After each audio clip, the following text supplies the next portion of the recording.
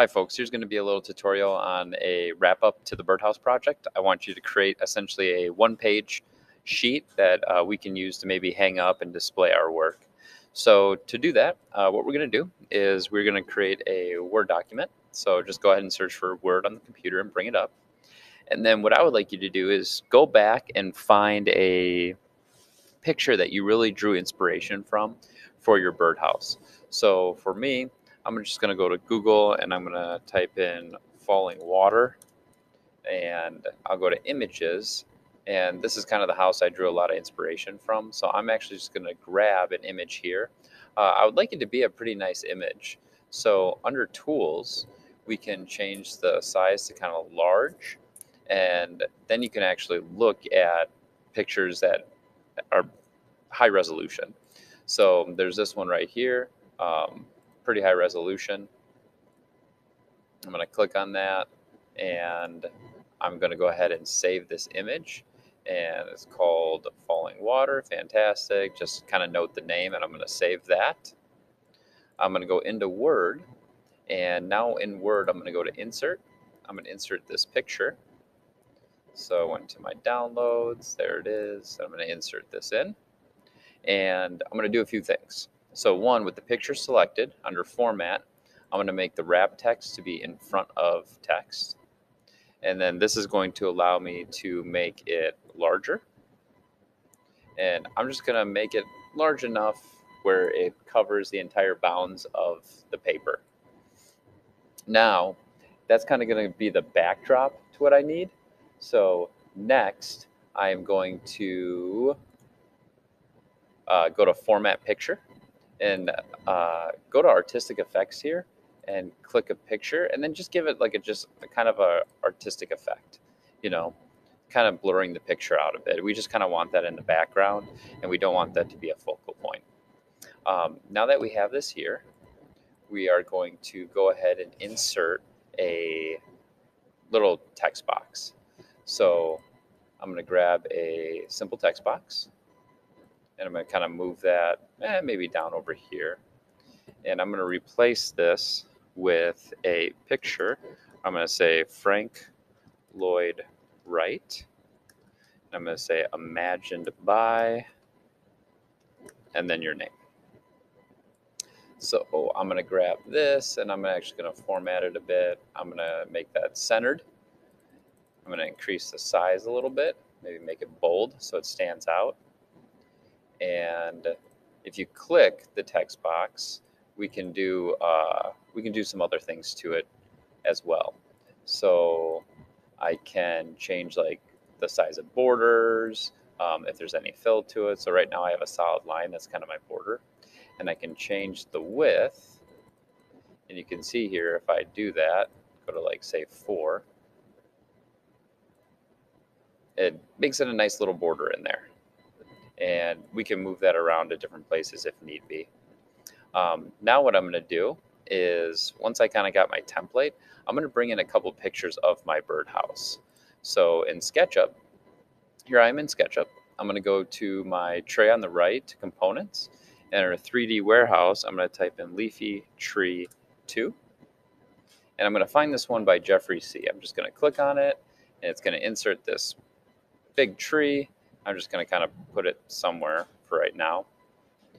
Then I'm going to select my birdhouse and I'm going to move that kind of to look like it's in the tree a bit. So kind of have to play around with it a bit where I'm going to put it. So maybe somewhere right there. Nice little background. And since some of yours aren't always asymmetric, now that I have this here, I am going to open the snipping tool. So I'm going to show you how to do that. So I'm going to go snipping tool, new, and I'm just going to take a relatively decent sized box. You know, we don't want to go too much in this case. Um, ooh, it grabbed a lot of selection there, which I do not like. So let me try it again, new. Yeah, make sure that we're not actually clicking on anything. So it showed like the highlighted edges of the tree. So just make sure you're not clicked when you go ahead and select this. So this is one picture. I'm going to go ahead and click the Save Snip button. and you can save this right into wherever. Right now I'm going to put it on the uh, desktop so I have easy access to it for me. And I'll just call this Birdhouse 1. Go back to here, and I'm going to go to Insert Picture again, and go to where I placed it. Oh, let's get rid of that. Uh, so let me do that again. I'm going to show you because there's a little problem. When I brought it in here, you can see that it's here. Well, if I right click right away, I can bring that to the very front or I can bring things to the back. So I want my big picture right here. I might send that to the back.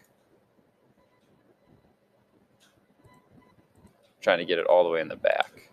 And then I want the other picture right here. So let's see here. I'll move that out of the way a bit and click here. You know what? I think we got to change this so it's in front of the text. Then I can bring this to the front. There we go. So you kind of see how that went.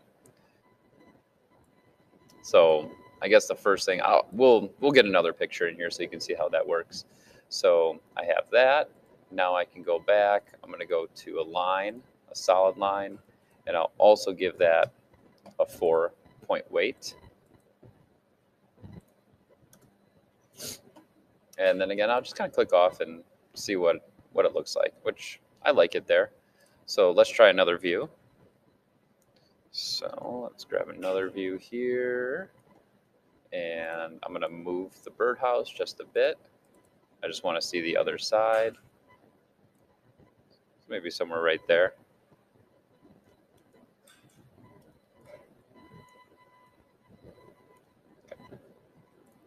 Uh, I'll grab the snipping tool, new snip. Can't do a new snip, I need that up. So new snip, and kind of the same idea. I'm going to grab that, save this. I'll save this as birdhouse 2 so I'm not overwriting this picture. Ah, I did the same thing. Uh, cancel. I need to be careful when I click new. Uh, why is that happening? There we go. Save that over Birdhouse 2. There we go. So now back in here, I'll insert the picture again, now birdhouse 2. Uh, that inserts in, I would say go ahead right away and go in front of text and it will drag it right there. And then I'm just going to resize it a bit.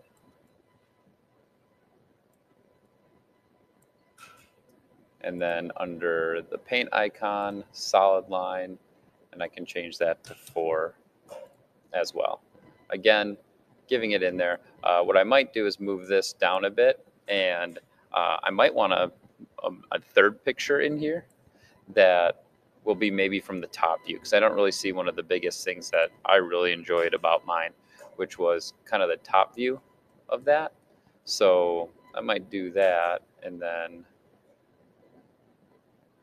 again, just kind of have a background there.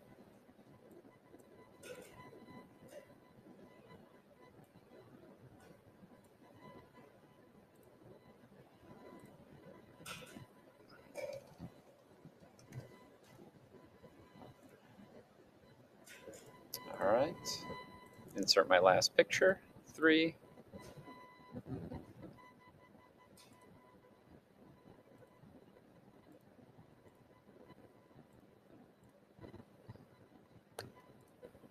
Move that in front.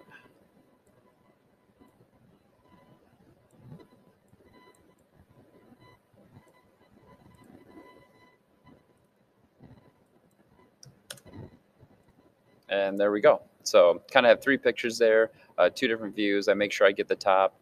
Um, I would say do maximum of three views, but then uh, you can actually take this, you can save this and print it out and hand it to your teacher. And it's kind of a nice little memento of the project.